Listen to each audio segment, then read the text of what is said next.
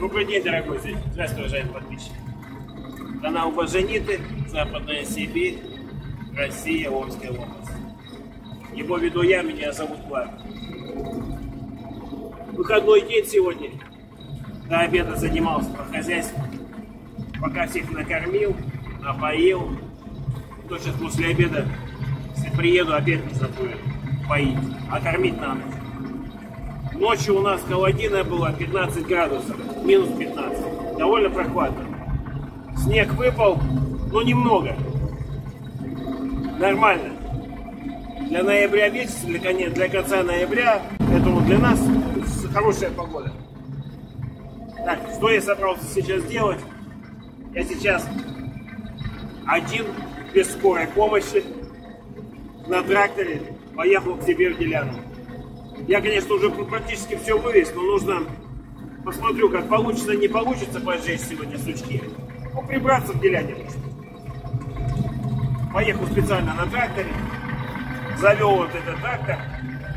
ЕВЗ. До обеда я, конечно, его завел там. Ну, сложновато, конечно, завести. Не с первого раза завел. Поворачивать пускачу трудновато. А сейчас завелся после обеда хорошо. Поехал, в общем. Надо будет, а там остались сучки, пилить на месте, складывать, ну, блин, проблематично одному. Пропилить проблематично, потом складывать, телегу цеплять. Я так подумал, ну что, елки-палки, там мучиться. Поеду я на тракторе, макушки эти зацеплю и привезу домой. Ну как получится, сейчас посмотрим. Специально поехал не по асфальту, а по грунтовой дороге. Смотрю на озере, рыбаков полно. Плоховато будет, конечно, видно. Ну вот так вот. И там сидят, и здесь сидят. Ну, что по асфальту поедешь, ну не там асфальт, а одно слово название, что это асфальт. А, переработан асфальт. Ну, увидит кто-нибудь, тем более я тут могу показать скажут, ой, ты обратно, елки-палки, что-то делаешь неправильно, что-то там нарушаешь. Так что поехал не по асфальту, а по грунтовой дороге вокруг э, жилого озера и буду проезжать между э, жилым и, и задним озером.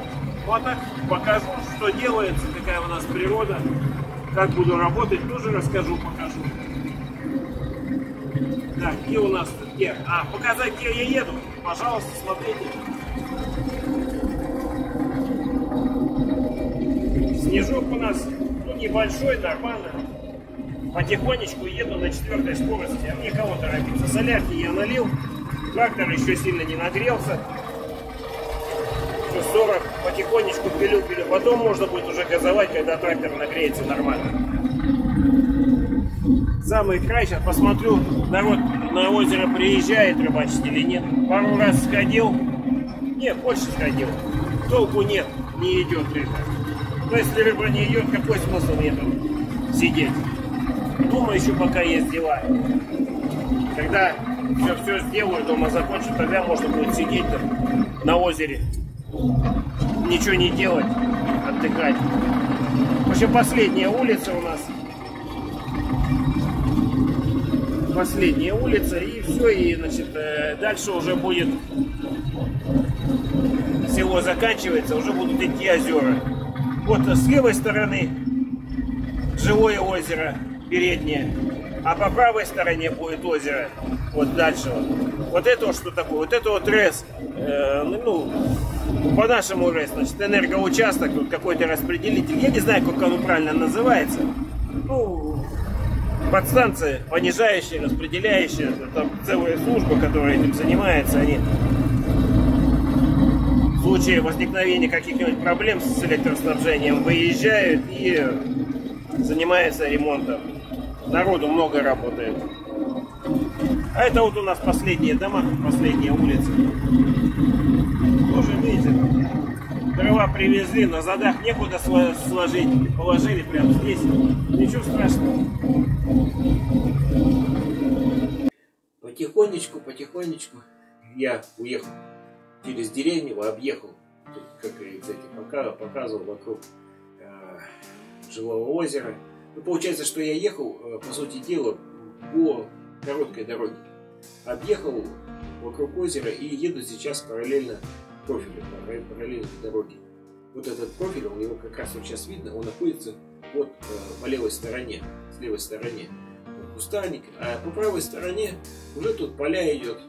Пока балакины нет, тут еще ехать можно, еще более-менее нормально. Тут, видать, и не только я один ездил, и другие ездят. Потому что если ехать с дровами, или значит, с большой телегой, или еще какая-то сельхозтехника, ну зачем ехать по, по профилю? Там асфальтом э, одно название, его асфальтом назовешь. Но все равно э, дорога есть дорога. Едет быстроходный транспорт. А тут периодически приходится переключать с пятой скорости на четвертую и обратно переключаться. Как только кочки э, попадаются, и приходится ехать чуть потише. А тут, ну что, трактор, едешь, ну 20 километров максимум, а так, ну, ну 18, ну 20 километров. Потихонечку пилишь и пилишь мне кого-то. Еду по сторонам, смотрю, вижу, что вот тут кустарник, а туда дальше я не знаю, проеду или не проеду. А вот здесь вот, вот, вот елки, вот что такие точки получается, что это трактор ведет. Это я телефон в руке держу и с телефона э, снимаю, показываю, что он находится передо мной. А вот здесь вот, видать, кто-то косил вот дальше, потому что травы толком не было. Здесь было дальше идет палатина, но не знаю я, как проеду, через эту палатину или нет. Тут, видимо, косили. Вот тут, тут как когда косили и вытаскивали волку. Дорога-то вот она идет, прямо вдоль кофеля. А тут, э, как копы тащили, так остался след. Ну, не знаю, волокуши или на чем они его вытаскивали, может быть, вдвоем на двух тракторах. А если прямо вот здесь ехать, дорога была, сухой год, а год сырой, получается, э, проехать-то елки-палки невозможно. Хочешь, не хочешь, а все равно пришлось здесь подниматься наверх. Э, на, на, ну что, на четвертой скорости тут газанул. Получается, вот здесь, э, в том месте, где Балатина, ну, приходится объезжать. Ну, недолго, ну, метров 200-300, как раз вот кустарником все, все заросшее. По дороге-то едешь как-то незаметно. О, сейчас и скорость повышенную включу на пятой. На пятой будет быстрее. А то на четвертой там пылепучки собираем. О, сразу быстрее дело пошло. Но все равно быстро, на этом тракторе быстро не поедешь. Там то колеса в разбег идут, то еще что-нибудь. Ну а мне кого-то, кого торопиться. Так, а по правой стороне, если бы я поехал, ну не знаю, навряд ли я бы тут проехал. Потому что э, опять кочки. А, нет, я периодически переключаюсь. Когда кочки, то с четвертой, то четвертую включаю, то пятую включаю. Еду по сторонам владею. Не, не торопясь. Так, а что у нас по правой стороне-то? А, вот я по профилю я проехал, потом опять спустился вокруг деревни, и вот сейчас я практически подъехал э, к своей деляне. Ну, это где-то э, от профиля, ну, метров 500. Вот я сейчас к ней подъезжаю, вот у меня тут уже накатано, снег, вот моя деляна по правой стороне, вот этот э, выборочный лес, и мои сучки лежат. Ну, как сучки? Я бревна уже давно все вывез, а остались вот эти вот э, сучки и макушки бревна-то, которые что, что идет на распиловку, что идет на дрова, потому что мы их пересортировал, э, разделил. А макушки, маку, мак, ну, макушки, ну там это же дрова, елки палки Макушки все равно хочешь не хочешь, а пришлось их э, в сторону отделять, потому что буквально накануне дня за три до вот этого я приезжал с женой. Э, ну, тут ходили, тут смотрели, сортировали. А тут один приехал, одному это сложно. И цепи, и подтащить, и главное эти вот э, толстые бревна, их ни, ни ковшом не зацепить, ни вилами вот эти, э, тоже зацепить невозможно, эти макушки. А пилить их на месте, потом каждая вот эта тоненькая э, бревнышко, что складывать, что ли? Зачем мне это нужно? Я так вон, сажу в кучу вот эти все макушки, с, стяну их, спрессую и утащу. Тут мне приходится я пообрубил все сучки, которые здесь, они мне ну, мешают, тех, которые будут мешаться. И вот я сейчас их а, на поляну сюда подальше вытащу и буду их складывать. Как он складывается потихонечку. Я там еду назад, поглядываю, листик. А я тут уже все сложил. Я все сложил, вот она вязанка макушек получилась. По одному, по два я стаскивал, потом ковшом их друг на друга складывал. А это я сейчас проверю, чтобы они не могли по всей дороге расцепиться.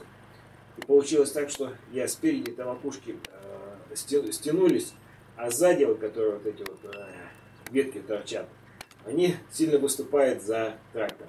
И так они мне мешаются. И получается, что все равно нужно в одном месте, где Балатина, подниматься на кофе или проезжать метров 200. Ну зачем? Ну, хоть там машины-то и редко ездят в нашей стране, вот где мы живем.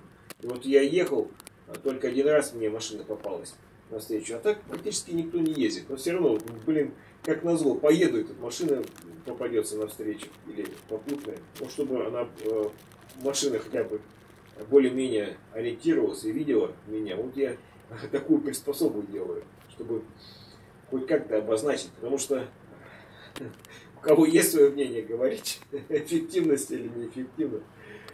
Ну, получается, что дорога белая, снег выпал, береза тоже белая.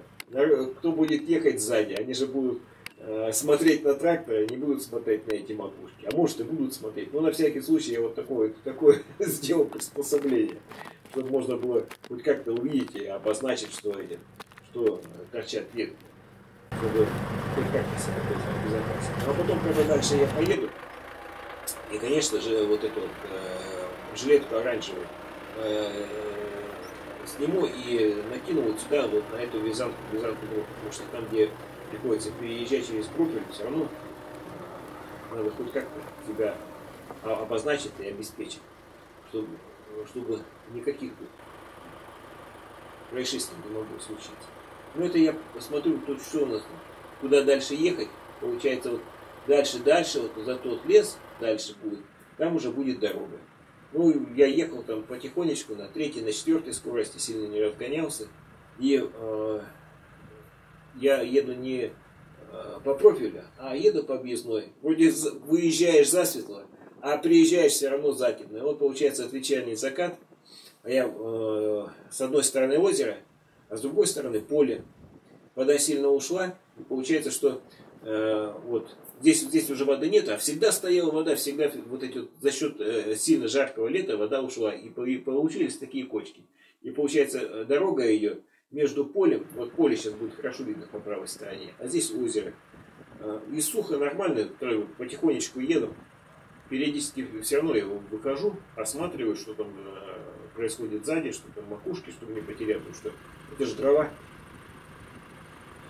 выезжаешь за светло, все равно приезжаешь по темноте.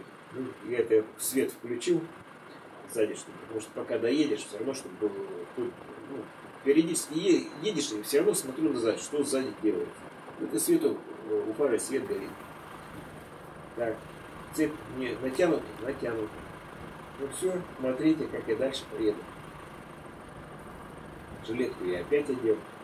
Потихоньку, потихоньку, здесь уже с, тре, с третьей страгиваюсь. Хорошо, что снега было. Так бы трактор буксовал. Все равно вот эти вот макушки, они ну, веса не имеют, но большое сопротивление имеют.